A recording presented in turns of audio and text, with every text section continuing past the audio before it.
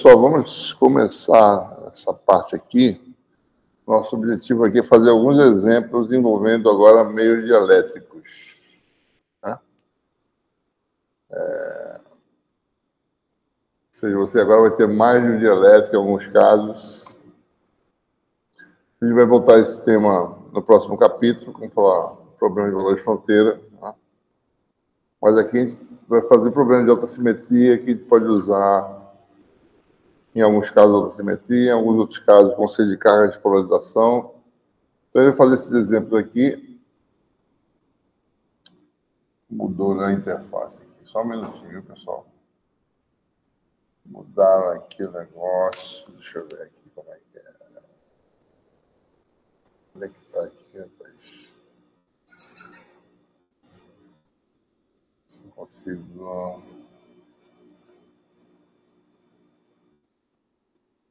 Momento.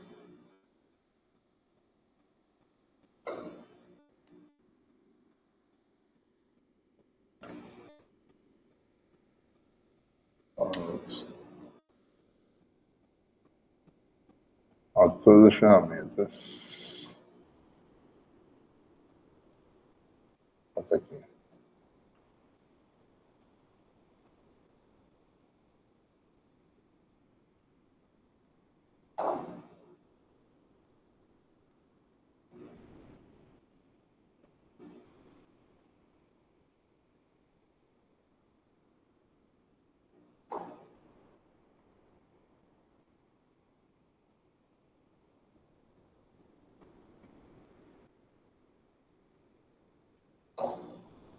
A ferramenta aqui, bicho. Não.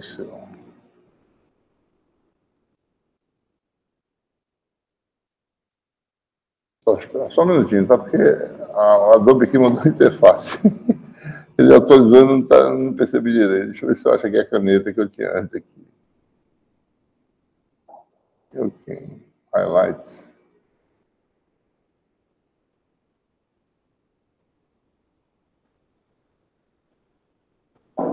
Edite, acho que.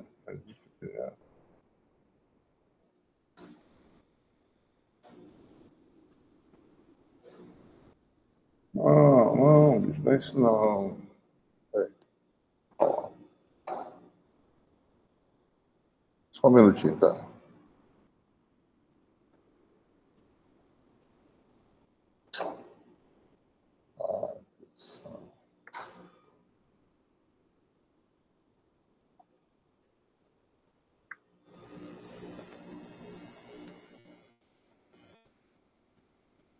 Aquela letra. Edit não é, né? Que é o que? Comment. Só tá fora.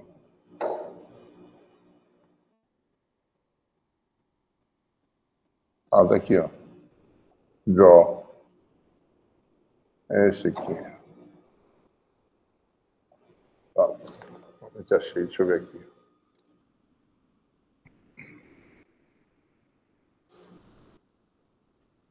Aqui rapidinho, peraí. Mais lento ainda do que antes. Bom, enfim. Então vamos falar sobre esses tópicos aqui. Sala de hoje. É... Campos interior de uma esfera polarizada. A gente já falou sobre isso antes, mas a gente vai revisar com mais calma agora, tá certo? É, placa polarizada permanentemente. Vou fazer exemplos em que a polarização é permanente e daí a gente quer determinar os campos. Né? Tem a esfera, tem a placa, né? são dois casos. Cilindro polarizado, né? é, um certo tipo de polarização. Vamos falar sobre energia em materiais que são não lineares, né? quando tem esterese, para mostrar o que acontece. E, finalmente, um exemplo é, em que a esfera tem parcialmente envolvida numa envolvida, na realidade, né, numa capa de elétrica, para ver como é que se comporta os campos e para ver como é que isso pode ser interpretado, tanto do ponto de vista da função permissividade, como do ponto de vista das cargas de polarização, certo? Um primeiro exemplo, é, gente vai fazer é esse do campo de uma esfera polarizada. Né? Já falei para vocês que a gente tem materiais que são podem ser polarizados permanentemente, quando você aplica um campo, e quando você retira o campo, essa polarização é retida. Vamos fazer então esse exemplo aqui. A gente pode calcular, é, uma vez que você estabeleceu o estado de polarização, vamos admitir que a polarização é constante. Tá? É, digamos, no eixo vertical, digamos que isso aqui é o eixo Z.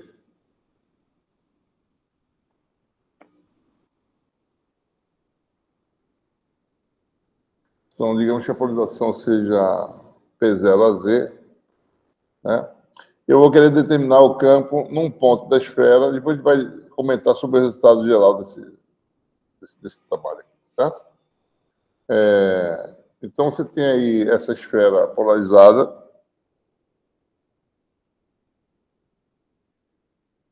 aqui também mudou, parece. Ah, não está aqui. Tá certo. É, deixa ela branca mesmo, tá certo? Vou botar outra cor, talvez. É, uma cor aqui da esfera polarizada, né? É, e eu quero determinar o campo no centro. Esse aqui é o eixo Z. E a polarização dessa esfera é P, né? Constante em todo o eixo Z. Então, como é que a gente resolve problemas desse tipo, em que eu conheço a função polarização, né? Fora é vácuo, né? Não tem... Aqui é espaço vazio. Gente quer saber o campo do centro, né? que é um ponto onde é fácil calcular. Na verdade, dá para calcular no eixo Z também, mas dá mais trabalho. Mas no, no centro é mais, mais fácil.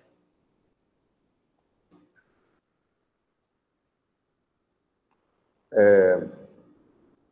Então, o que, que ele vai fazer? Bom, uma forma de resolver esse problema, esse não é um problema de alta simetria que possa usar a lei de Gauss, porque aqui tem o eixo preferencial, né? O campo aqui é diferente do campo aqui, né? Então, não, não dá para usar de Gauss nesse problema, certo? Então, a gente tem que calcular diretamente. Como é que a gente faz? Usa o conceito de cargas de polarização. Como é que é esse conceito? Ora, substitui a esfera de, é, polarizada pelas cargas de polarização, pelas cargas ligadas, que são duas. Né? No volume, há uma densidade de carga volumétrica de polarização, que é menos divergente de P. Na superfície, há uma densidade superficial de carga de polarização, que é P projetado na direção normal para fora do dielétrico, né? Escalar ele. Certo? Então faz isso, tira a esfera, coloca essas cargas no lugar aonde? No vácuo. Então isso aqui vai virar vácuo, bota essas cargas no lugar, resolve o problema se fossem cargas tradicionais. Tá? Certo? Ora, primeira observação. P é constante.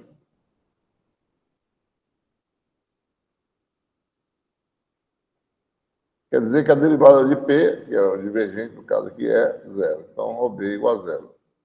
Não tem densidade de caracterização no volume. E na superfície? Bom, vamos fazer aqui um sistema de coordenadas.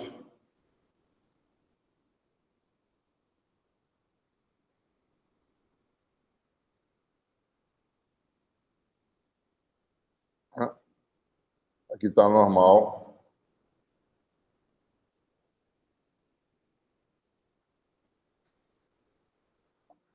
em algum ponto, forma um ângulo θ com eixo Z.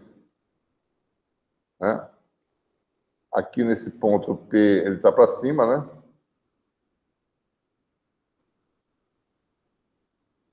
Vale P0 a Z. Então, você tem que OBS igual a P0 a Z escalar o n, né? Que nesse caso aqui o n é um vetor radial, o versor radial em esféricas.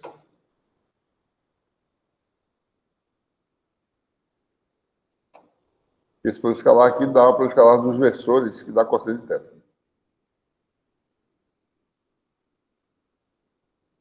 Tá? Ou seja, então, determinamos as cargas de polarização. Densidade volumétrica zero, densidade superficial, P0 cosseno de teta. Então, a gente tira a esfera, agora bota uma superfície de cargas, por densidade dada por isso, no vácuo.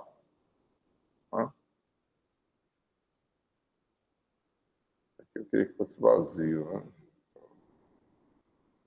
Eu passo aqui transparente.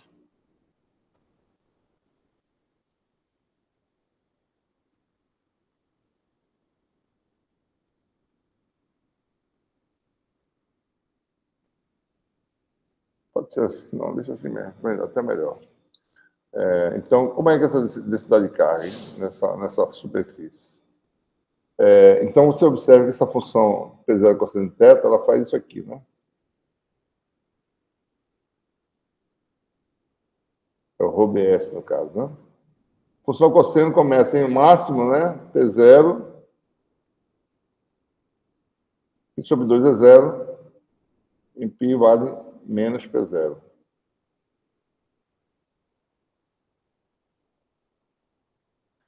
Então, no hemisfério superior, densidade de carga positiva. A máxima vai diminuindo, né? Até ficar zero aqui. Embaixo ela muda de sinal, é, fica negativo, né?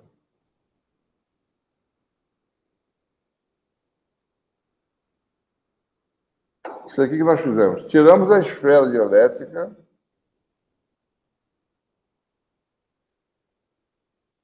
colocando no seu lugar essa superfície de cargas, como se fossem cargas livres. Aonde? O vácuo. Que é vácuo, que é vácuo. Então, então, o que a gente vai fazer? Vou calcular o potencial depois do campo elétrico?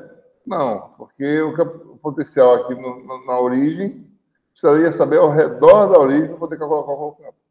Não dá para fazer assim. Tem que calcular o campo direto tem uma superfície de carga, calcula o campo por superposição, como nós já sabemos fazer. Ou seja, é igual a. Outra coisa, eu falei, não dá para usar de Gauss por quê? Porque não tem simetria de rotação. Ó. A carga varia com tetra, varia com esse ângulo aqui. Se eu rodar, eu perco, muda a configuração, não pode usar Gauss para fazer nada. Tem que ser cálculo mesmo. Então, é igual a integral de superfície de Q, que é de sigma linha, ρS, né? no ponto x' considerado, vetor x, que é o ponto de observação, menos x', onde você tem a densidade, a lembra de área, 4π, permissividade de epsilon zero, né? que é vácuo, x menos x'. Nesse caso, quem é o ponto de observação? É o centro.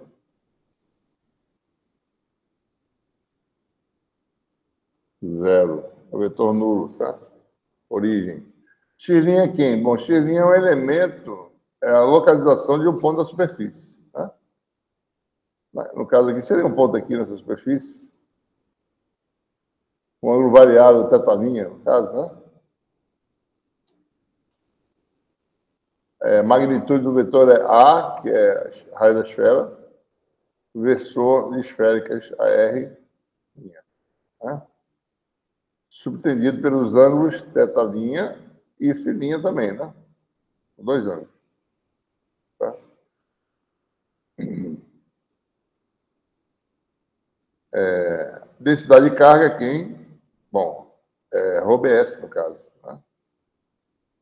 É P0 cosseno de dessa linha. O que mais? Isso aqui, intermediária. A2, diferencial de ângulo sólido, de ômega linha. E, por sua vez, aqui, A2, sendo teta linha, de teta linha definida. Tá? Então, então, integral dupla tetalinha vai de 0 a π. E o filhinha vai de 0 a 2π. Tá?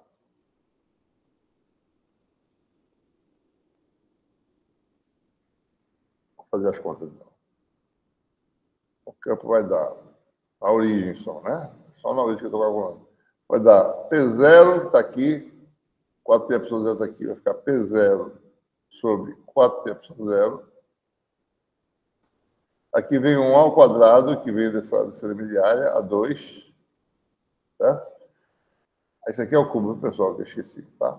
x é zero, módulo de x é A, A ao cubo dá A2 sobre A3. E aqui em cima dá um zero menos A, a R', certo? Vou dar A3 com A3 cancela. Certo? Tudo bem. A3 com A3 cancela. Então isso aqui vai dar o quê? É, integral de 0 a π seno de tetalinha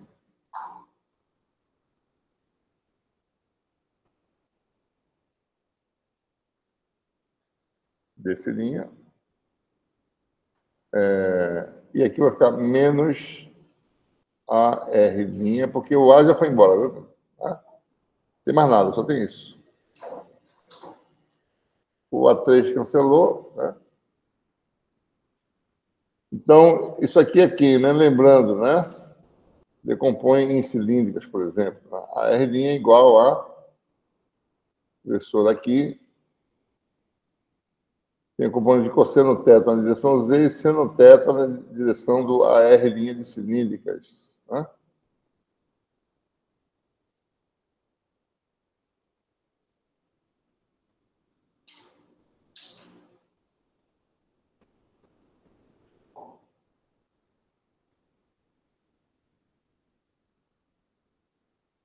Lembrando que o R', por sua vez, varia um φ, né? Um ângulo filinha. Cosseno de filinha AX mais seno de filinha AY, né? Então, observe, né? quando você tem a integral no ângulo φ, dessa função, né, que é dado por isso, vai ter a integral desse versor daqui, que vale zero de 0 a 2π, né? e aqui também zero. Se a integral desse termo aqui dá zero, isso aqui é constante, sai da integral vai dar um 2π aqui, certo? Então, o campo elétrico vai dar esse menos sai, né? Menos P0 a Z. 2π com 4π dá 2, sobre 2 é epsilon zero. É...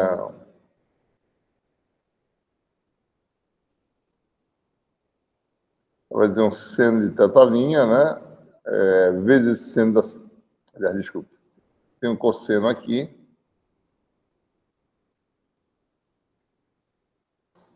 Está faltando alguma coisa. Ah, está faltando a função P0 cosseno. Está é, tá faltando esse cosseno que eu não botei, tá? Está faltando um cosseno aqui, ó. Tem um cosseno de tetalinha aqui. Está aqui, tá certo? Serve aqui dentro. Tá? Então, tenho seno vezes cosseno vezes o cosseno aqui, da cosseno ao quadrado. Então, cosseno ao quadrado do seno.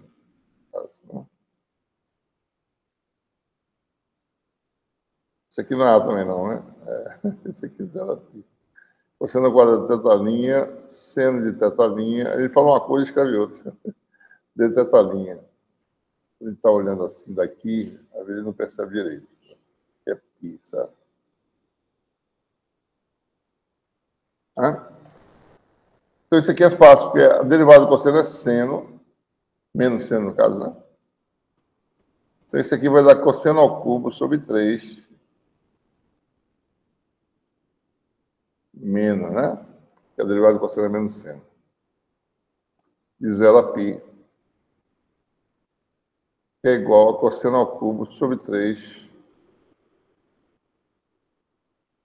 inverter os limites, de π até zero. Certo? Isso aqui dá quanto, hein? 7 igual a zero dá um terço. 7 igual a π dá menos um terço. Então isso aqui vai dar 2 terços.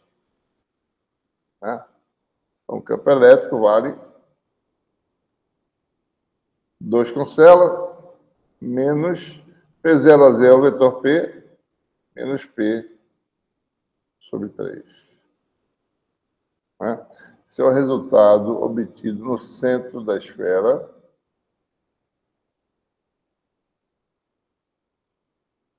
O campo é para baixo, né? como deveria ser, é o que nós vemos aqui, né? Carga positiva e negativa, aqui o campo é para baixo, né? Essas linhas de campo devem ser, não sabe, né? tem que calcular no resto. A gente poderia pensar que as linhas de campo seriam assim, talvez, né? É, que faria isso, né? Certo? Mas não é assim. O campo do centro vale menos 3 sobre 3. Na verdade, o campo vale em qualquer lugar aqui dentro, para baixo. Né? Ou seja, o campo é assim, ó. Uniforme, constante, menos P0 sobre 3 em cada ponto da esfera.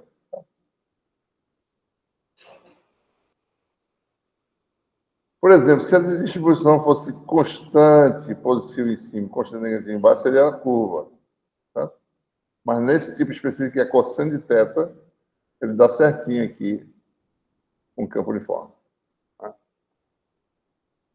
Por exemplo, se a gente calculasse no eixo Z, ia mostrar que dá o mesmo resultado, menos P0 sobre 3. Dá para calcular, certo? Dá mais trabalho, dá para calcular. Para calcular no resto, daí tem que usar... É, conceito de, de, funções especiais, que é um pouco mais complicado. Tá?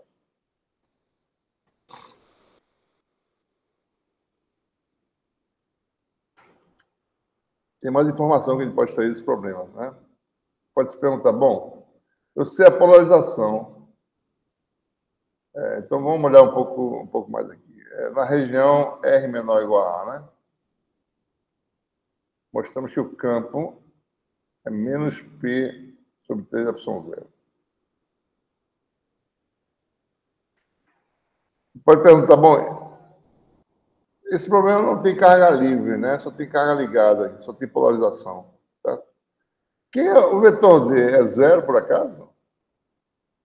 E D é associado à carga livre, né? Assim falou. Então, D existe também, mesmo que não tenha carga livre. Divergente de D é zero, mas D existe. Divergente de D igual a densidade de carga livre, que é zero. Certo? Então foi isso que eu falei, equação de Maxwell, né? Quando eu boto a equação de Maxwell assim, divergente de D, quem está lá à direita é carga livre, densidade de carga livre. Carga ligada não aparece. Toda zero, não tem carga livre no problema. Tá?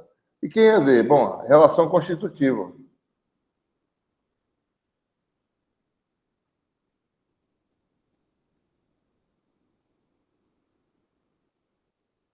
D é obtido dessa relação constitutiva aqui. Epsilon é mais P. É menos P sobre 3 epsilon zero, dá P menos um terço de P, que dá dois terços de P. Vamos ver que coisa doida, né? O campo elétrico está para baixo e o D está para cima. Tá? Claramente são meio não linear, né?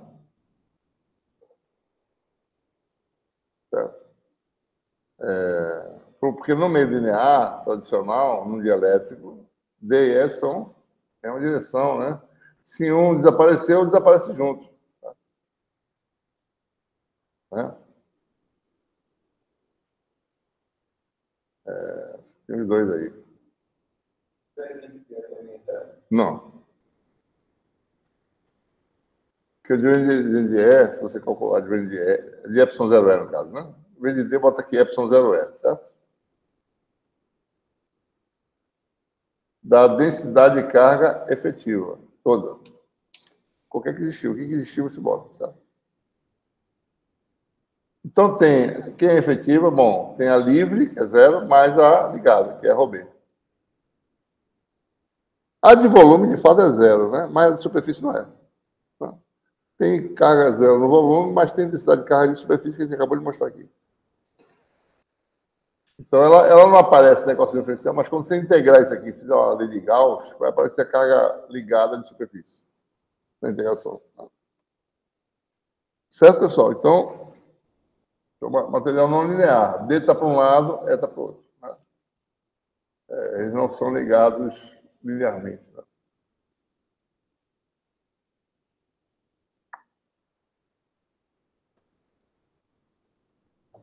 Muito bem. É... Fazer mais outro exemplo aqui de meio não linear.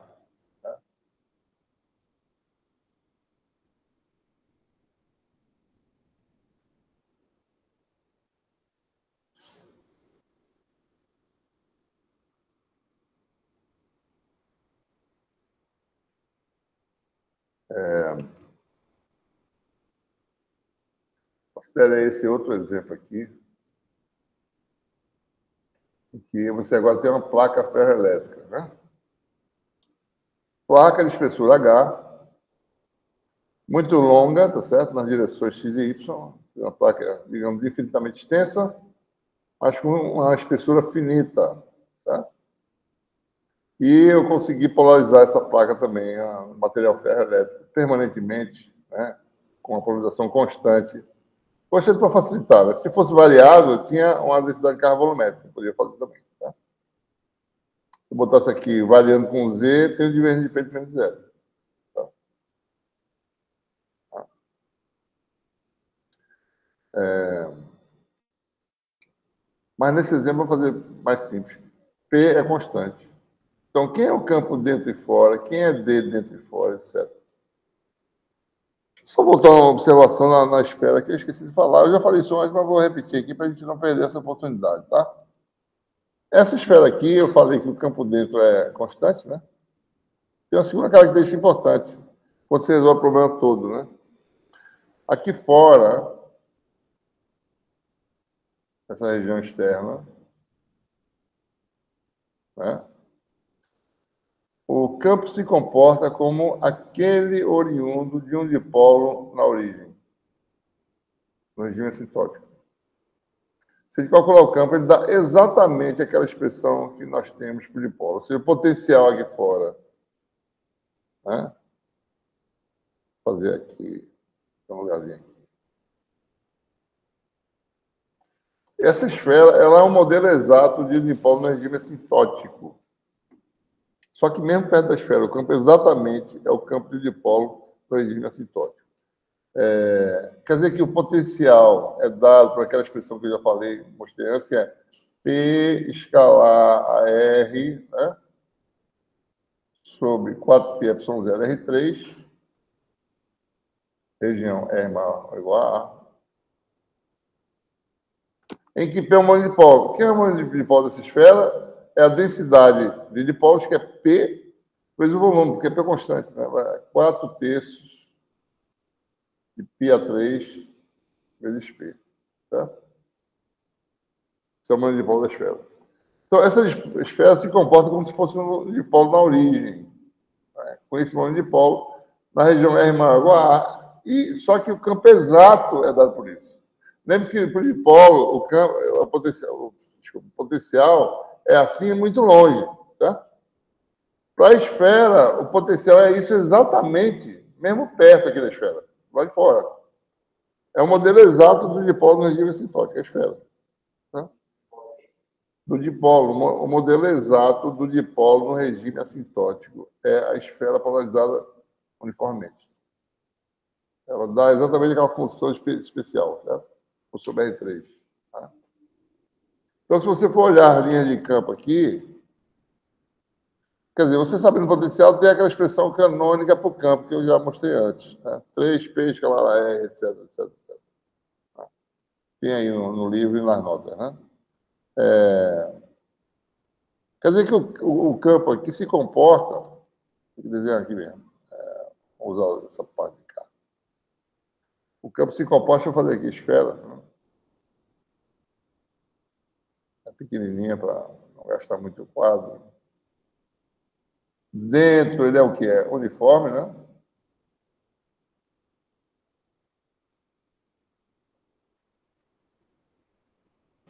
É o campo, né? Campo.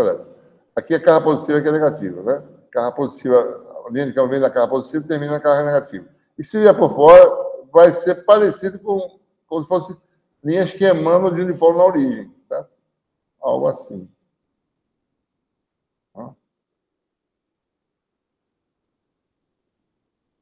Então, é assim que é mais ou menos a linha de campo exterior. Tá? Como se tivesse um dipósito aqui no centro, emanando essa linha. É... Certo?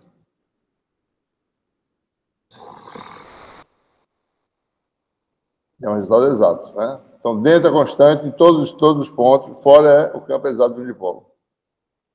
Potencial do unipolo, dentro e fora também. Certo. Então, no nosso caso agora, o nosso novo exemplo é a placa polarizada, né?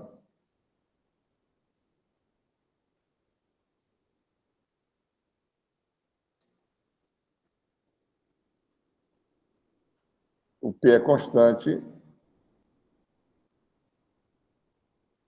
Mais uma vez, ele se beneficia do fato de ρB, que é menos divergente de P, é igual a zero.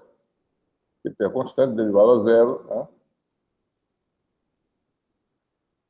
E ρBS é P escala N, N é o vetor normal à superfície para fora do volume.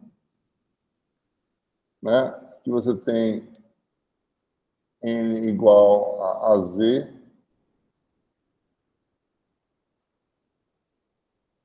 E aqui o N vale menos a Z.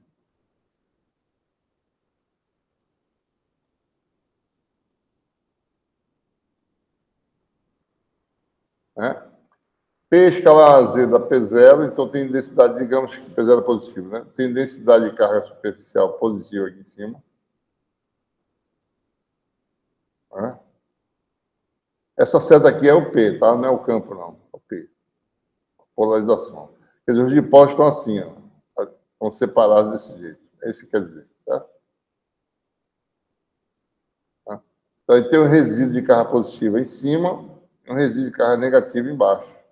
Então, para todos os efeitos, essa placa é o quê? É um par de superfícies de carga com distribuição de carga uniforme, positivo em cima e negativo embaixo, no vácuo. É, então, a gente tirou a placa e colocou no lugar duas superfícies de carga. Tá? Uma positivamente carregada.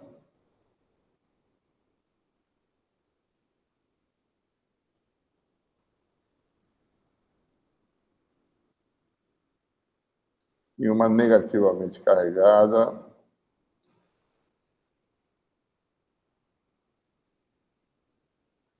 Aonde? O problema da superfície de carga nós já resolvemos, né? Nós sabemos que o campo de uma superfície carga no vácuo é dado por E igual a. É, se a densidade de carga superficial é ρS, é ρS sobre 2 epsilon zero. E acima da placa é para cima, abaixo da placa é para baixo. É Z sobre módulo de Z a Z. Né? Então, vou desenhar aqui o campo, tá certo? É, no caso da gente, aqui a densidade de carga é ρS igual a P0 aqui. Embaixo é menos P0. Então, a gente vai fazer superposição de campos, tá? Então, vamos dizer que é, o campo da placa positiva seja esse aqui, ó. É mais, certo? Dado por essa expressão aqui, né? Acima da placa vale isso aqui, e abaixo vale a mesma coisa, só que para baixo. Esse aqui é o campo da placa positiva, né? Aqui também, né? A placa positiva faz esse campo aqui embaixo. esse campo não é, não é, é, ele não é, não é bloqueado por causa dessa placa, não. Ele existe todo espaço. Ela está lá, superpõe, né? A negativa, ela teria uma mudança de sinal. A negativa teria um campo, vou botar uma cor diferente. Negativa teria um campo assim, né? Chegando, certo?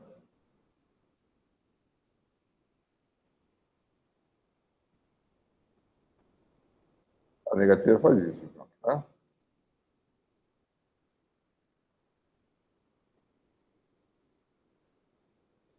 Ou seja, o que nós temos? Os campos têm as densidades de carga, são as mesmas, são P0. Então, aqui você cancela. Né? Então, acima da placa positiva dá zero, resultado. Abaixo da negativa também cancela. E aqui é um fator de 2. Tá? Então, se você quiser fazer matematicamente, faz o quê? Está o eixo Z, isso aqui é a coordenada Z igual a H sobre 2, aqui Z é igual a menos H sobre 2, né? Então, no intervalo para Z é, em módulo menor do que H sobre 2, o campo é duas vezes isso para baixo. Tá? Fora dessa região, o campo é zero. Ou seja, resultado que a gente obtém é esse, né? Vou botar em, em função de ROS, mas o campo total, né? Não adianta ter. Vai ser igual a quanto? Na região em que módulo de Z é menor que H sub 2, ele vale para baixo, né? Menos ROS sobre 2. Aliás, ROS sobre Epsilon 0, mas ROS é P0, né?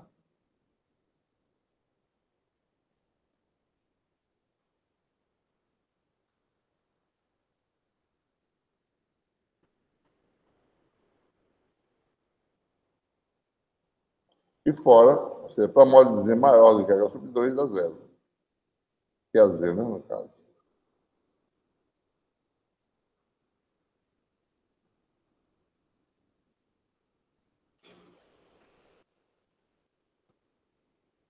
Ok, o sub 2, certo? Ou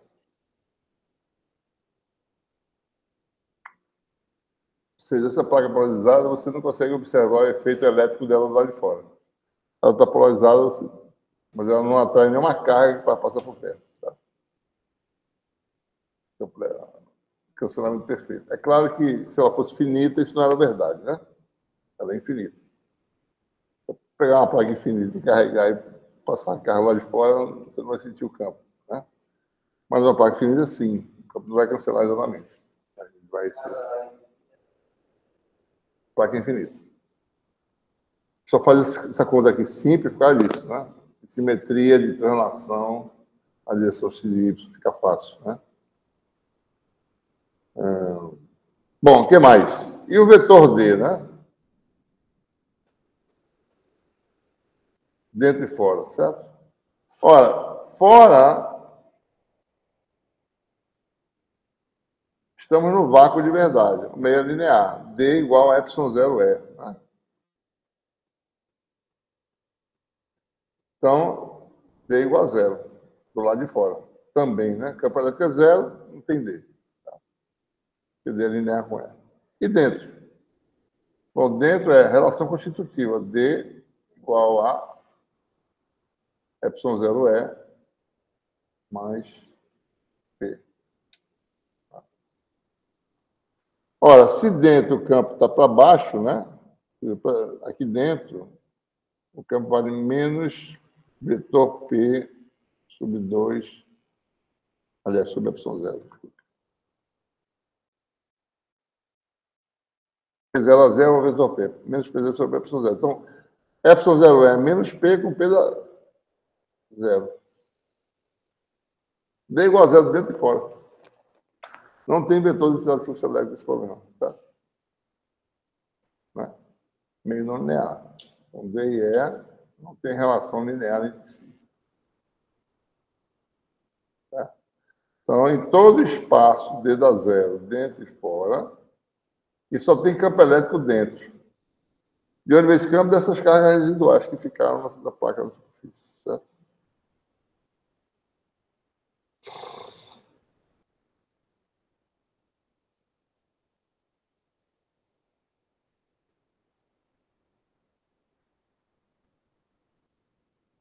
Fazer um caso particular.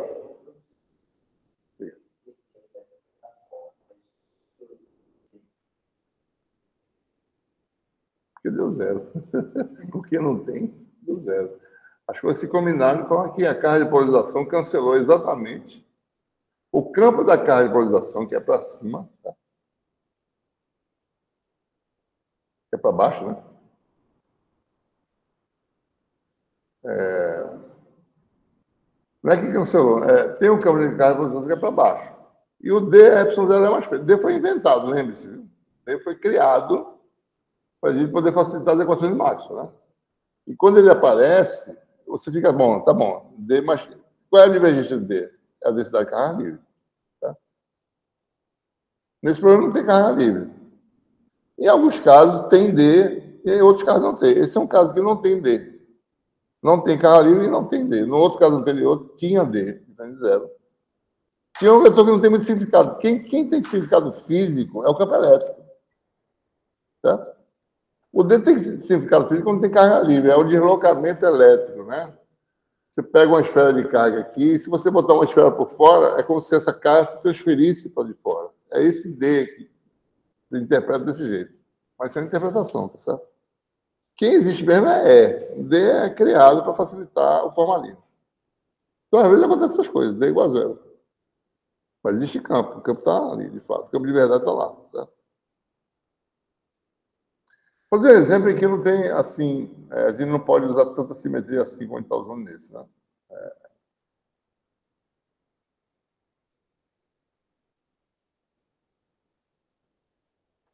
Fazer esse exemplo aqui, que agora, em vez de ser uma placa infinita, é uma placa finita, ou seja, um cilindro.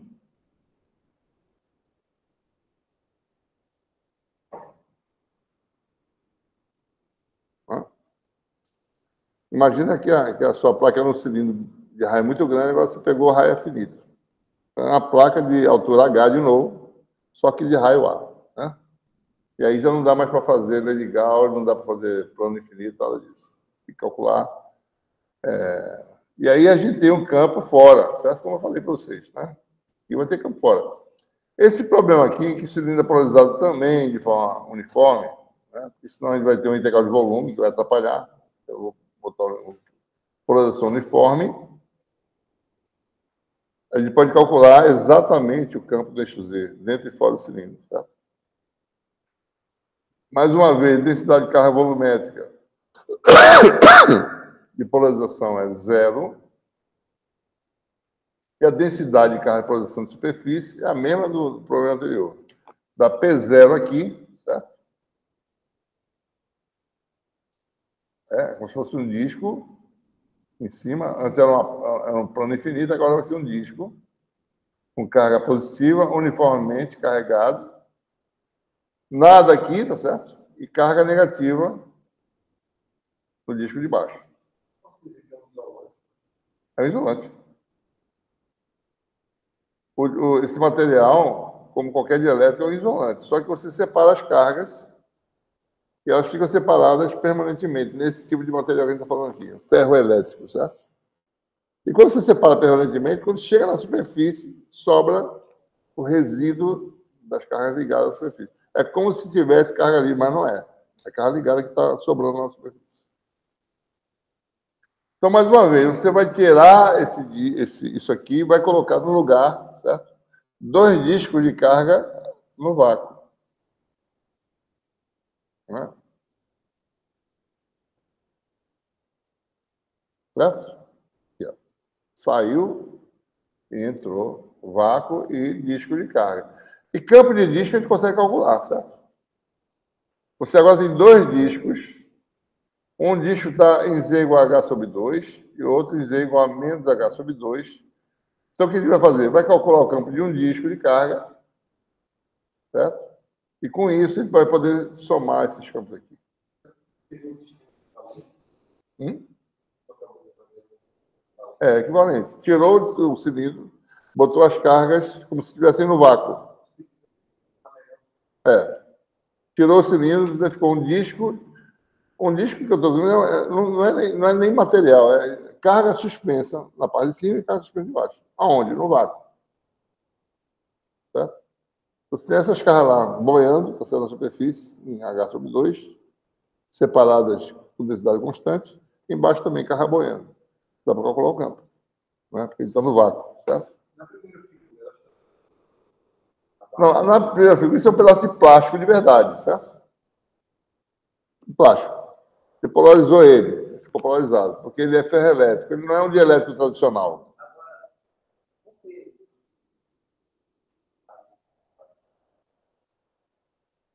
Porque nesse caso o P é constante. E nós, nós mostramos que as densidades de carga que existem são densidades de carga ligadas, e na superfície elas são calculadas pela projeção do P na normal à superfície. Quando você calcula P escalar N, que é a Z, dá mais, dá P0, P escalar menos a Z dá menos P0. E aqui dá zero. A normal existe aqui também, certo? Normal está lateral. Mas o P faz isso, certo? Todo escala dá zero. Não tem carga na lateral. Né? Tem na, nas tampas, certo? Entendeu, pessoal, qual é a ideia? Isso é um pedaço de material que ele é equivalente eletricamente a um, dois cilindros carregados. Você tira o material e bota o no lugar. Feito elétrico ao meio. Tá? É, nesse problema, observe que eu, já, já, fiz esse alerta antes. Né? Tem problemas que eu, sabendo o potencial num subdomínio, eu calculo o campo elétrico. Tá? Deixa eu só lembrar você, né? O campo elétrico é obtido do potencial, se você conhecer o potencial da função gradiente, né? Isso aqui essencialmente é derivada de uma função. Para calcular a derivada de uma função, precisa saber a função em todos os pontos. Porque num dado ponto, precisa saber em torno do ponto como é que o potencial varia. Para calcular esse, essa derivada nas três direções. Certo? Se eu souber o potencial só num ponto, eu não posso calcular campo elétrico. Não tem como calcular. É a mesma coisa que você perguntar, olha, eu tenho uma função que varia assim, né? Tá? Se eu souber essa função nesse ponto, eu sei essa derivada? Não. Tem que saber em torno do ponto como é que a função varia. Porque, por exemplo, aqui a função é zero, mas a, a derivada é zero. Tá? Tem lugares que o potencial é zero, o elétrico não é. O elétrico precisa saber ao redor. Então, na maioria dos casos mais complexos, eu preciso saber o potencial em todos os pontos. Tá? Esse problema aqui da gente, eu consigo calcular exatamente o potencial no eixo Z. Tá? Dá para calcular. E aí me pergunta, bom, se eu souber o potencial no eixo Z, eu sei o campo. Eu não sei fora do eixo Z, né? eu sei só no eixo Z. Tá? Bom, nesse caso dá, porque o campo, pela simetria, só tem componente Z. E nós sabemos né, que a componente Z dessa equação aqui é menos dφ dz. Se eu souber φ como função de z, essa derivada se calcular. Eu calculo a componente de z do campo. Tem situações que no eixo z o campo faz isso mas o potencial vai com Z, mas o campo não é na direção Z. É ortogonal, por exemplo. Ou tem duas componentes, certo? Mas uma componente é assim. Você não consegue calcular. Você não sabe como é que potencial varia em torno do Nesse caso, eu sei exatamente que o campo está na direção Z pela simetria. São dois discos, né? Eu vou estar na direção Z, para cancelar as outras componentes, tá? Então, eu sei. Bom, se eu souber o potencial que Z, eu é isso que eu vou fazer. Eu vou calcular o potencial no eixo Z tá? para um disco, né? depois usar o resultado para usar dois. Para um disco está aqui a geometria. Né? Isso aqui é um disco de carga. Vamos calcular o potencial no eixo Z Elemento de área de sigma linha, vetor de posição x linha, densidade ρS, né? seja ela P0 menos P0, não importa. Raio A, que é o raio do disco. Aqui está a fórmula. Né? Dq, né? que é ρS de sigma. Então, observe, eu estou fazendo as contas como se fosse carga livre. Tá? É porque o campo ele olha isso como se fosse, para mim, tanto faz se é livre ou ligado, é carga. O campo elétrico olha tudo como carga. O D não, o D não, cadê as cargas livres? Não, sabe. Mas o campo elétrico é qualquer carga é carga. Então, para o campo elétrico é carga no vácuo. Certo? Você calcula o potencial, que é de onde vem o campo elétrico, assumindo que são cargas livres, com densidade ROS. Certo? Então, se você fizer aqui, né? x igual a z a z, que é um ponto aqui no eixo z. x' é um vetor variável, né? ele vai de zero até a. Versor variável de cilíndricas, que é varre a superfície variando no φ. Tá? Densidade superficial é constante, vou estar chamando de K, né? Elemento de área em cilíndricas, R', DR', D. Tá? Então, jogando na fórmula, vai dar. Esse módulo aqui, né? É, produto escalado dessa diferença. Esses versores são ortogonais, vai dar R2 mais E2. Raiz quadrada, né? Está aqui, ó. Aqui não, essa função é constante, não depende de φ, isso aqui não depende de φ, isso aqui também não depende de φ, daí fica a integral em φ da direto 2π. Tá?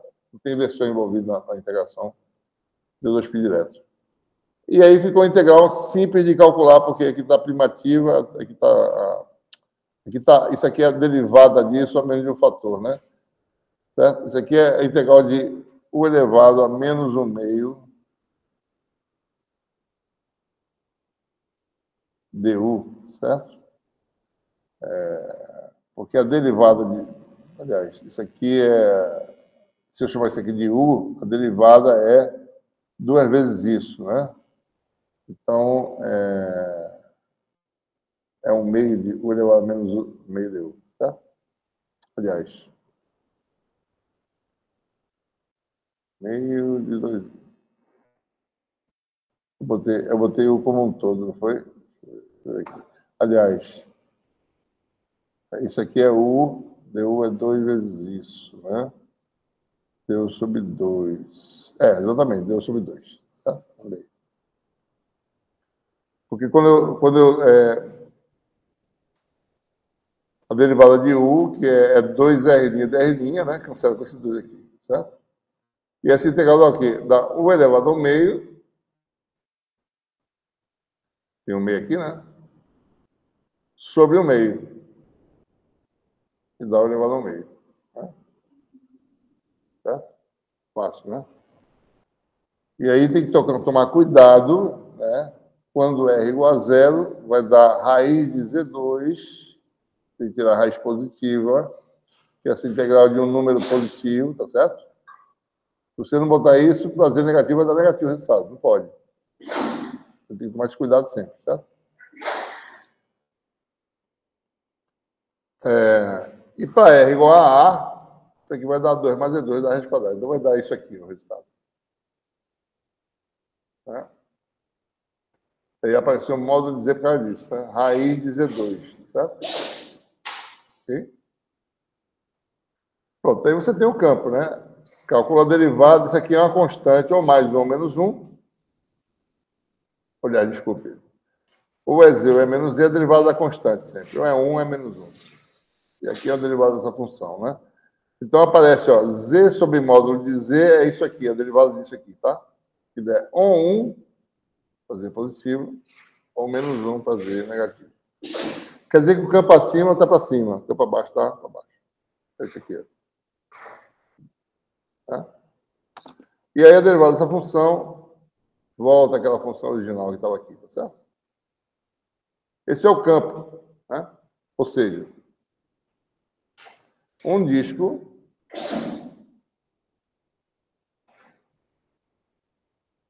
no plano Z igual a zero. Ele tem um campo que é dado por essa expressão. Deixa eu botar aqui de novo para a gente poder é, traduzir ela para. É, a densidade de carga do disco, né, sobre 2 epsilon zero.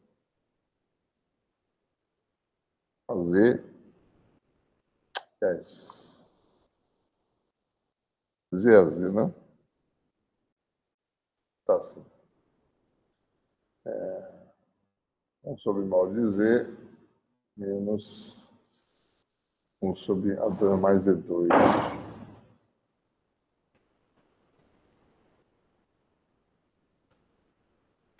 Ao meio, né? Fazer. Certo? E se o disco estiver numa coordenada é, Z0?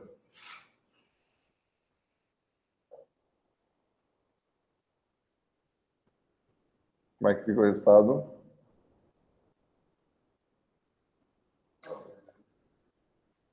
Z igual a Z zero.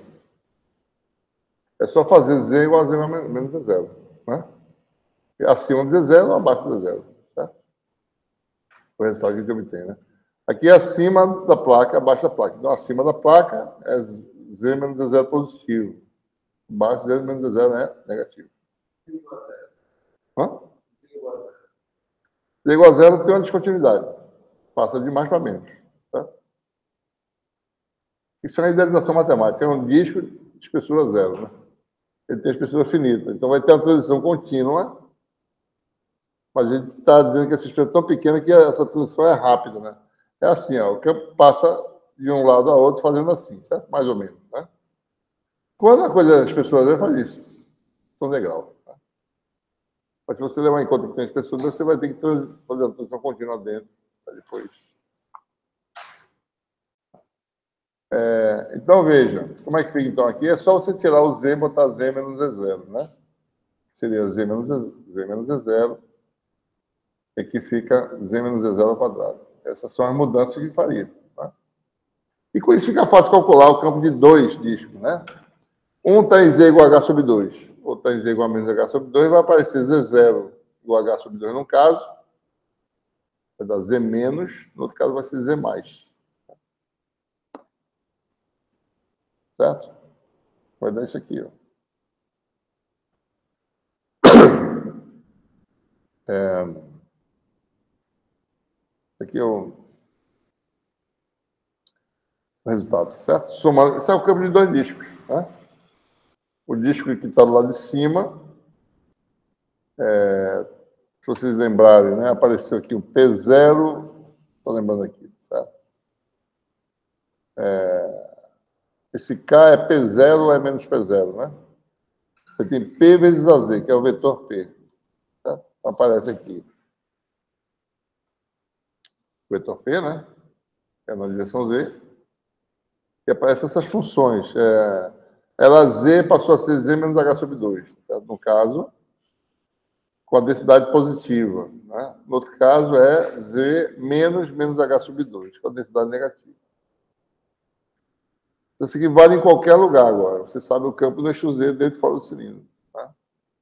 Para uma placa polarizada. Eu posso calcular o D se eu quiser, tá certo? É, especificamente no centro, né? no centro do cilindro. Se eu calcular essa, essas fórmulas aqui, vai cancelar algumas coisas. Né? Isso aqui dá, dá 1 sobre módulo de H sobre 2, que dá H sobre 2 aqui também dá, certo? Então, se você fizer as continhas aí, né? deixa para vocês fazerem, você mostra que o campo do centro é dado por essa função aqui. Ó. Né? É... Você vai falar assim, olha, se H for pequeno em relação a A, né? Certo? Então, isso aqui dá zero. Em relação a isso, H sobre A dá zero. Né? O resultado dá menos P sobre epsilon zero, que é o campo da placa infinita. C1 vai se tornar cada vez menor quando H sobre A se torna cada vez menor.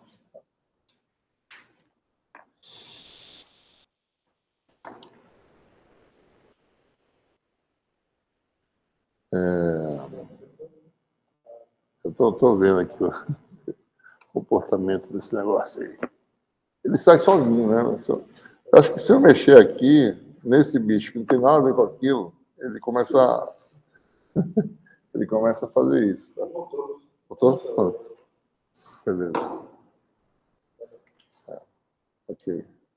É, eu vou inverter aqui a ordem, certo? Vou fazer mais um exemplo de cálculo de,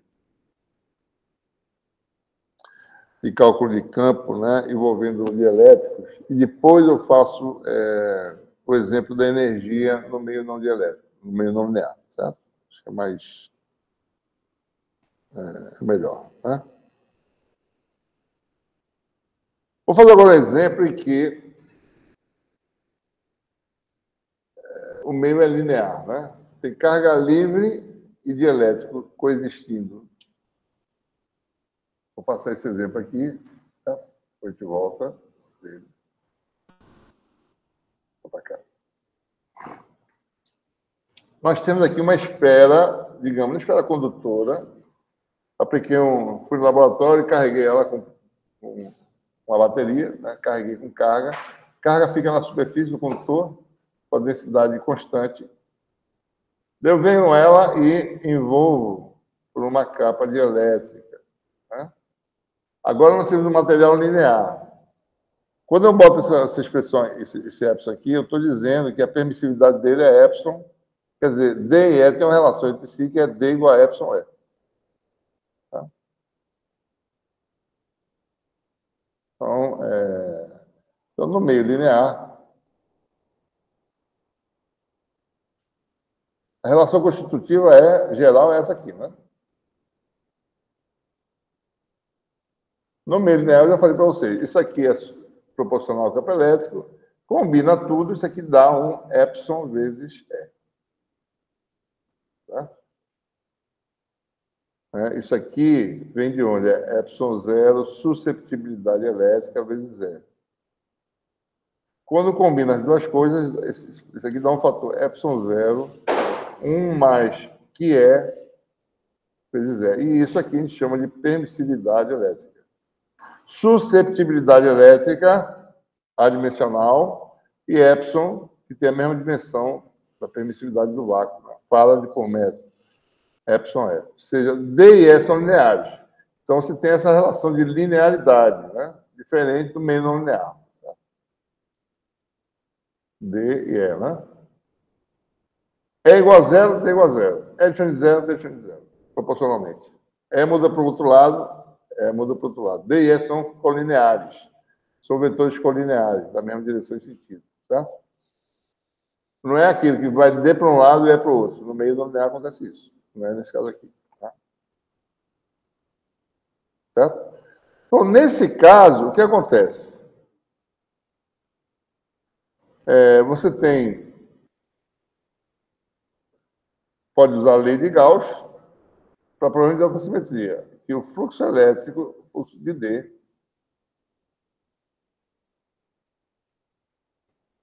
é igual a carga livre. Se rua é carga livre, viu, pessoal? Nunca esqueçam disso, tá? O fluxo elétrico por exterior da superfície sigma, que limita o volume V, é igual a carga livre envolvida. Uma vez obtendo D, como o meio é linear, você obtém E. É igual a D sobre epsilon. Isso é uma técnica de resolver o problema, tá? Fácil, né? Se for não linear, daí são esses métodos aí que está mostrando, né? Esses outros. Não tem como calcular o D, no, no, meio é não linear, tá certo? Não é simples. Não. Você pode usar a lei de Gauss, mas a lei de Gauss pode dar zero, você não vai ter nenhuma informação fluxo do campo é epsilon zero é carga livre ligada, carga ligada envolvida, mas aí o problema pode não ter simetria, ou seja, pode ser mais complicado. Tá? Então, quando o é linear, você calcula o D e extrai o E. Tá? Daqui. Esse é o nosso caso desse exemplo aqui. Tá? Aqui é um caso em que é um problema de alta simetria. O meio exterior é linear, o meio interior é linear. Se eu pegar uma superfície gaussiana esférica, tanto aqui quanto aqui, o fluxo vai dar o mesmo. É a carga livre envolvida, que é essa carga aqui. Então, o vetor D, ele, ele não muda dentro do fórum dielétrico. É o mesmo. Então, se eu calcular o fluxo elétrico, que está aqui, nós sabemos que a probabilidade de alta em que D ele é radial, certo? Então, a gente usa uma superfície gaussiana. E o D radial é função só de R, né? Certo? Então, nós temos o quê? Calculando isso aqui vai dar D radial vezes 4πr2, que é o raio da superfície gaussiana, igual à carga envolvida, que é a densidade de carga livre superficial no condutor, que é K, a área do condutor, que é 4π o quê? A área do condutor ao quadrado. Né? Densidade é constante, né? Qualquer superfície de raio maior do que A. Pode ser aqui, pode ser aqui. Tá? Por quê? Porque o D está. O fluxo elétrico aqui dá a carga livre envolvida. O fluxo elétrico aqui também dá carga livre envolvida. Tá? Não tem carga livre aqui. Só aqui, no condutor. Então, você tem essa relação. Ou seja, o D vale K a 2 sobre R2. Qualquer que seja R maior ou igual a A. Né? E dentro do controle, quem é D? Zero. Porque se eu fizesse isso aqui dentro, a carga ali envolvida dá zero. Então, D daria zero. Tá? É zero, D igual a zero, todo mundo é zero. Tá? Então, o que nós temos aí? Então vamos lá. D é essa função aqui.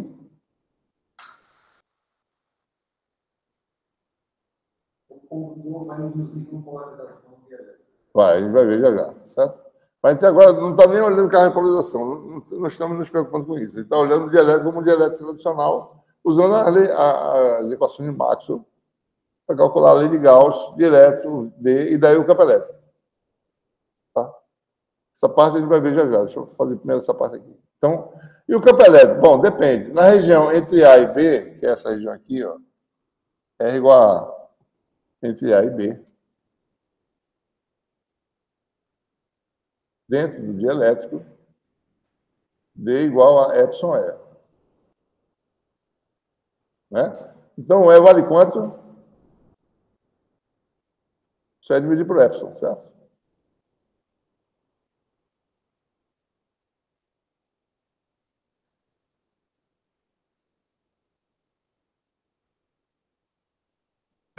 permissividade da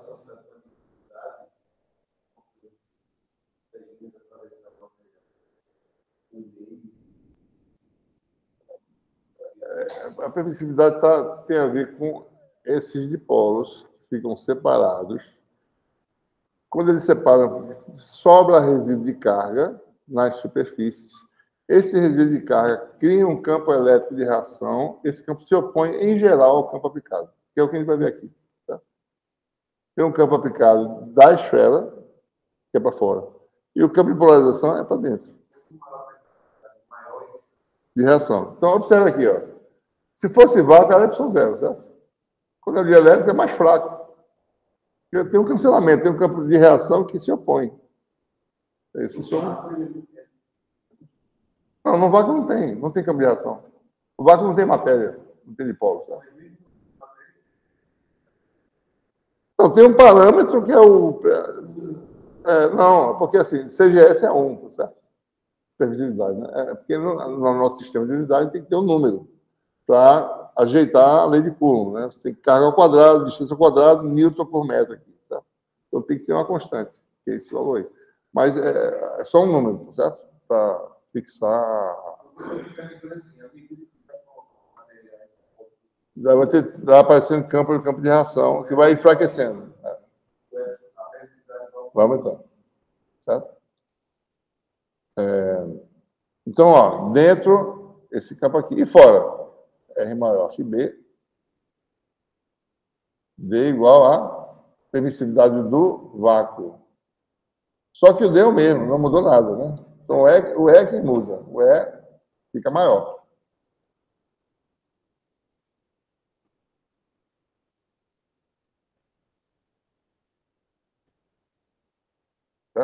Então, observe, usando a, a, a, permissividade elétrica, rapidamente a gente calcula as coisas. Lei de Gauss, nesse caso, tem alta simetria, e usando a relação constitutiva direta. O campo é mais fraco dentro e é mais forte fora. O outro ponto de vista é usando carga de polarização. Certo? Para usar carga de polarização, é preciso saber quem é o P, certo? Eu vou, eu vou me beneficiar que eu já fiz o, o cálculo aqui. Já sei quem são as quantidades, eu sei calcular o P. Só para mostrar para vocês o que, que, são essas cargas, certo? Mas observe, para obter o P, eu preciso resolver o problema antes, né? né? Então, é. É, então, o que eu quero dizer é o seguinte: eu tenho que saber esses resultados para obter o P. Pra, eu, o objetivo aqui é só mostrar isso que acabou de falar, esse enfraquecimento de campo, certo? E mostrar quem são essas quantidades para esses campos envolvidos aqui. O que, que gente faz? Bom, D igual a ε0E mais né? E aí, CD, CE, cálculo P. Do lado de fora, o P é zero, porque não tem matéria, certo? Você saber o P dentro do plástico, dentro do dielétrico. Então, P vale D, que é epsilon E, né? ou bota assim, D menos epsilon zero, D sobre epsilon, que é o E, né? Certo? É, epsilon, esse aqui é o, é, o, é o E dentro de elétrico. Isso aqui vai dar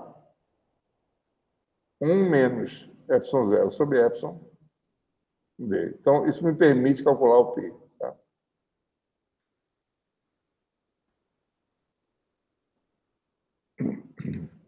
Aqui está o D, né?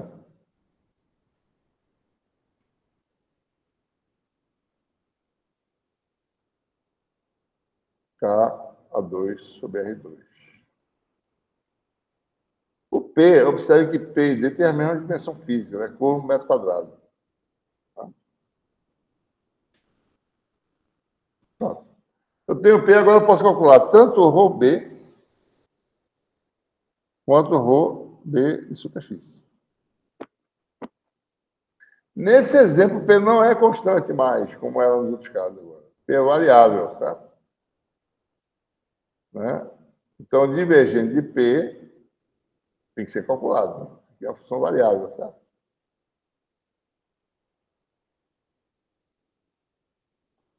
Divergente de P, né? É isso aqui, certo? Ora, mas eu posso dar também divergente de P, que é divergente dessa função aqui, né? É divergente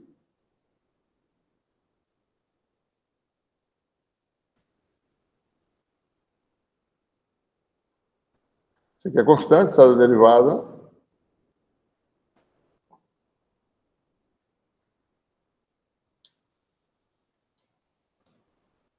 Certo? Quem é divergente de D no volume do dielétrico?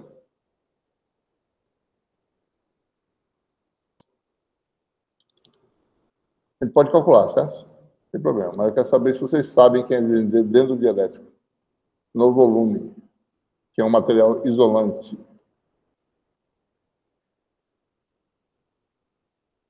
Divergente D, a densidade de carga é o quê? Livre. Dentro de isolante tem carga livre? Isso aqui dá zero. É claro que se você calcular essa função aqui, certo? Divergente isso aqui vai dar zero. Né? Porque aparece um R2 que cancela esse R2 aqui, dá zero.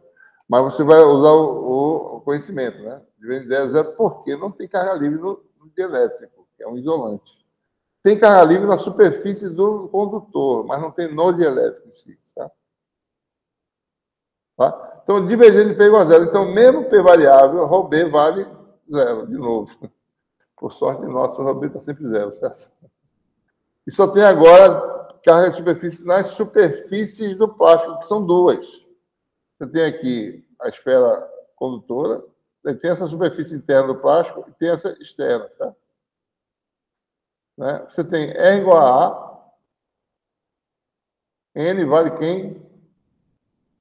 Menos a R. R igual a B, N vale para fora, né?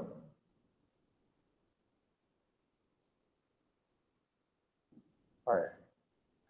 Então você vai calcular o P em R igual a A, isso aqui cancela. Ó. R tem que ser igual a A, certo? RhoBS vai ser P escalar menos a N. Então, RhoBS vale, tomar RhoBS A. Se eu fizer igual a A, vai dar quanto? Menos, né? Menos 1 menos epsilon zero sobre epsilon vezes K. Certo? Tá? Então, vamos admitir, né? É, epsilon é maior que epsilon zero, K é positivo, digamos. Então, a densidade de carga negativa na parte, inferior, parte interna do, do dielétrico. Em R igual a B, é, R igual a B dá A2 sobre B2 agora, certo? Caiu a densidade. Né? e a produto escalar dá positivo. Então, vai dar 1 menos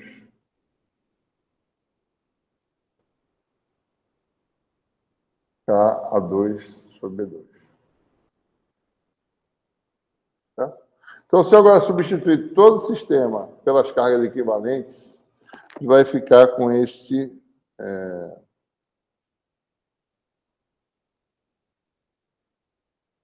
Que não tem o desenho, né? Vou fazer aqui, aqui, aqui mesmo. Tá? Você vai ficar com. Tirou, tirou o, o dielétrico, né? Parece que dá para desenhar aqui. É. Vou fazer assim, certo? É, fazer um outro aqui. Fazer um outro aqui diferente. Maior. Isso aqui é o nosso. Isso aqui é o nosso condutor, digamos assim, certo?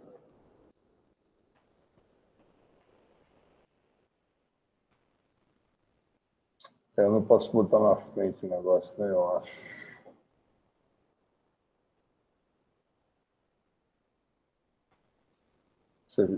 Acho que ele vai cobrir. Deixa eu ver se vai cobrir, né?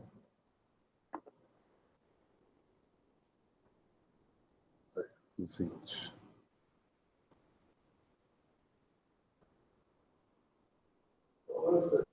Agora, né? Oi? É, tem, pode, pode ser que eu possa usar para alguma coisa, né? Bom, mas vamos fazer assim como eu fiz aqui.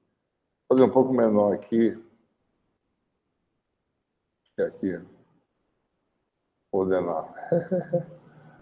Quero só mudar o tamanho desse negócio aqui. Deixa eu ver se eu consigo.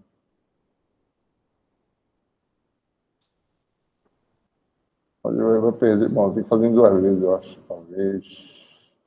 Mais ou menos aqui. Pronto, aqui tem o nosso condutor, tá? Nosso elétrico, né? É, talvez eu possa copiar, né?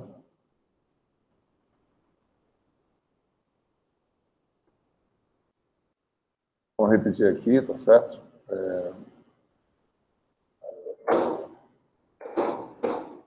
Bom, enquanto eu, eu faço aqui, eu ver se ele volta. Voltou?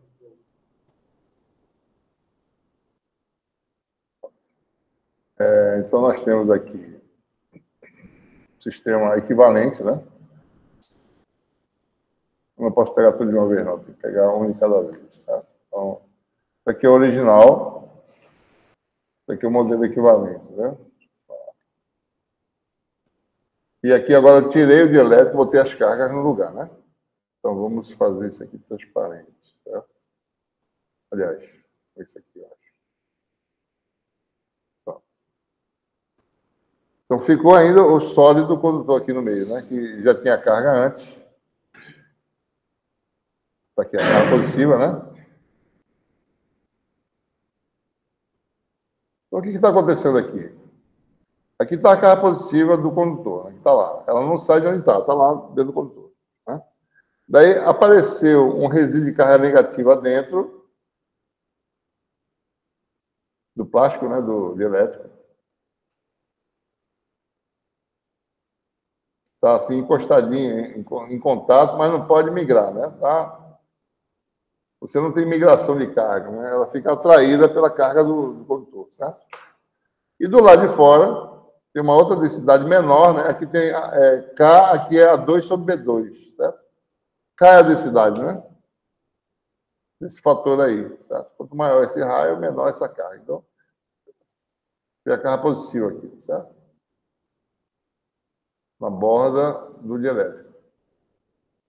Então, se você for calcular o campo, o que é o campo do espaço, o campo elétrico? é a soma do campo dessas cargas positivas com essas cargas negativas com essas cargas positivas. Tá? Tudo aonde? Tudo lá. Aqui dentro campo é zero. Nessa região é essas cargas aqui no vácuo.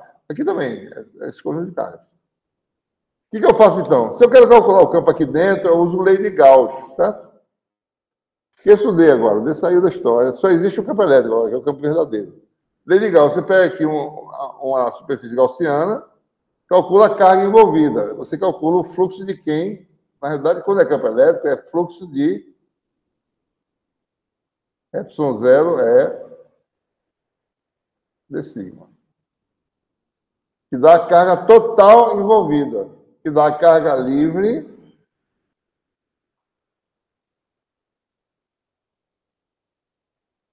né? mais a carga que está aqui, ó. Tá? Que é K1 menos E, que é mais, né? Mais não, menos. menos. Tudo é zero. Tá? Eu tirei o dielétrico, botei o átomo no lugar.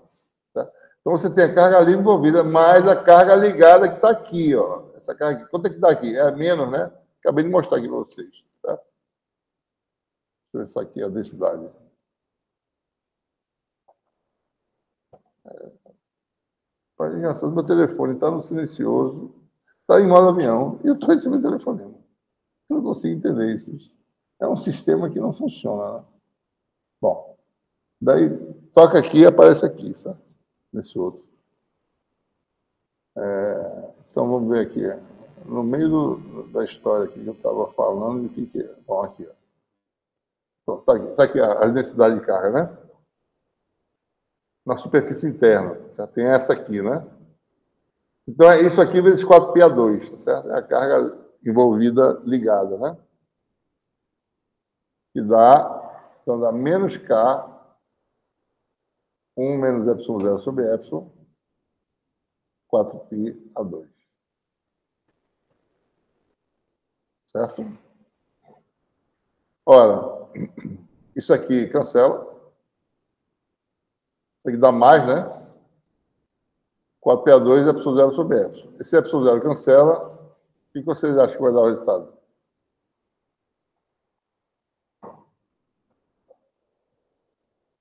K2 sobre epsilon R2. Vai ter um cancelamento aqui. Epsilon zero cancela, fica o epsilon embaixo. Se eu for do lado de fora, vai dar K 4P2, mais essa carga aqui, vezes A2, né? Mais a outra vezes B2. Só que lá o outro é A2 sobre B2. O B2 cancela. Então, essa carga aqui cancela exatamente essa carga azul aqui. Só sobra a carga livre. Então, do lado de fora, aqui vai, vai dar efetivamente o cancelamento dessas cargas, como se fosse só essa carga aqui, vai dar Ka2 sobre epsilon zero R2. Tá? O efeito das cargas ligadas é cancelado. A densidade cai, mas a área aumenta com o quadrado da distância, a densidade cai com o quadrado da distância e uma coisa cancela a outra. De forma que essas cargas estão perfeitamente equilibradas, certo? carga residual negativa cancela o efeito da carga residual positiva fora, mas não cancela dentro. O efeito dentro só depende da carga envolvida, né? Certo? Então, para mostrar, né? O que aconteceu aqui? Isso isso, né? Exatamente que está discutindo a questão da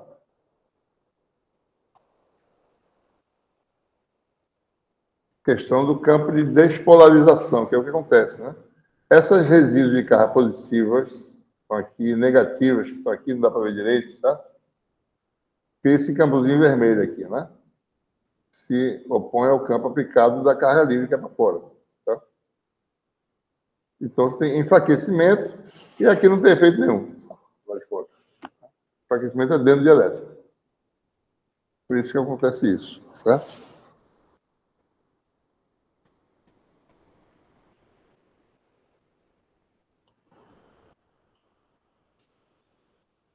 Bom, então vamos agora só concluir essa aula com esse exemplo de.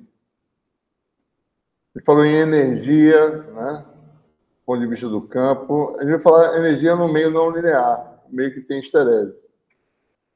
Vai ver que esses meios eles tendem a. É, você precisa realizar. Esses meios não são conservativos, não são conservativos sentido que você você está no estado, vai para o estado B e volta para o estado A esse processo envolve dispêndio de energia, certo? Se fosse, por exemplo, é, você tem um agente, você tem um, um, uma carga livre, um agente fictício no espaço, passando no vácuo, né? Mexendo essa carga e depois volta para a posição anterior. Você calcular o trabalho total da zero. Né? linha de ADN da zero aí nesse caso. Né? É, a energia, nesse caso aqui, que não é integral de ADL, é outra coisa, certo? Integral de ADL dá zero, mas aqui a energia no, no material não linear, se você for no estado A para o estado B e voltar para o estado A, você vai ter que gastar energia. Porque esses materiais, eles, no fundo, quer dizer que esses materiais vão ter perda, você precisa gastar energia para poder fazer esse, esse trabalho, certo? Então, admita que você tem um material que tem esterese, certo? Né? Você já polarizou o material, então a, a, curva de polarização dele é algo assim, né? É, você já polarizou, ele tem, tem polarização, tem um campo aqui, tá certo? Polarização saturou, tirou o campo, por exemplo, a polarização fica fixa, como eu falei, manter a polarização. Se reverter, você pode zerar, você satura de novo, então você fica dentro desse ciclo. Então a pergunta é essa: se eu estiver nesse estado aqui, for para cá, variar meu campo, né? o campo aplicado, certo?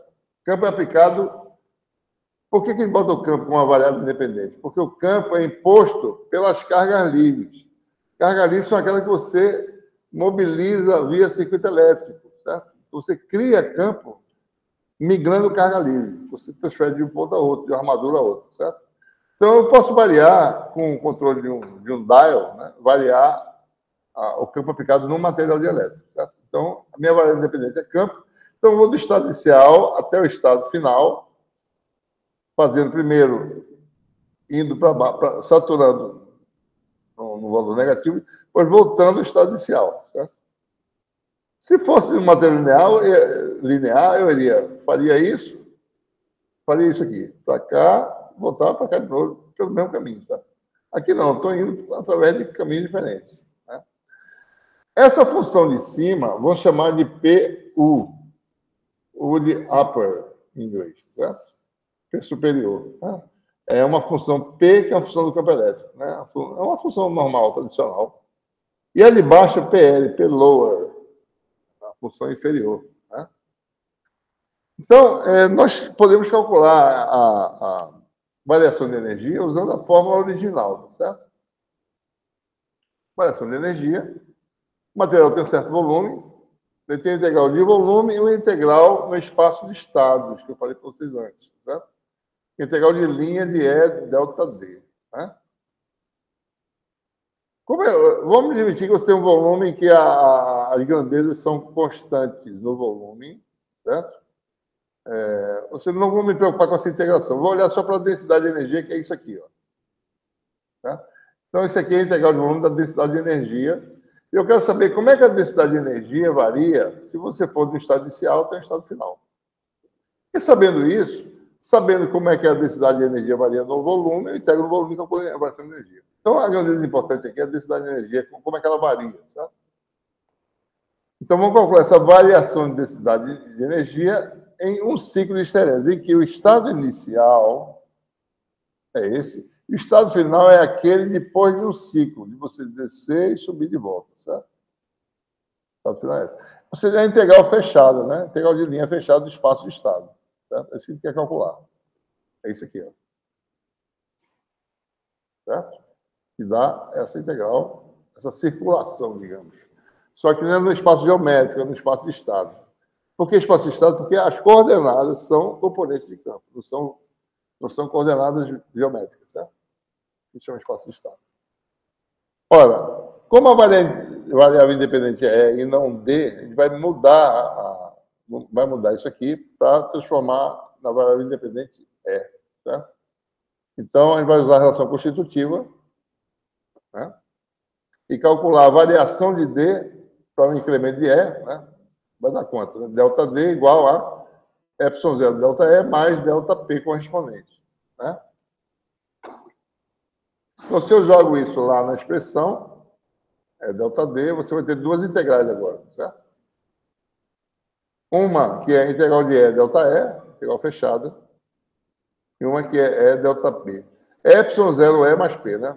Por isso que não tem um epsilon zero aqui por causa disso. Tem essa segunda integral aqui, certo? Essa integral aqui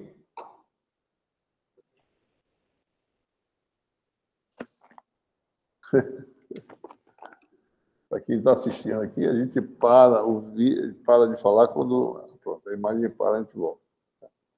Então, essa integral aqui dá, é 2 sobre 2, né? A integral de E L é 2 sobre 2. Se no estado inicial o campo vale E e no estado final ele também vale E2, no caso, né? E depois de uma volta ele dá E2 de novo, a integral dá zero, tá? Porque o valor inicial e o valor final são iguais. Então aqui, zerou. Tá? Então você ficou com E de P. Mas a variável independente é E e não P. Né? Gente tem que mudar isso aqui.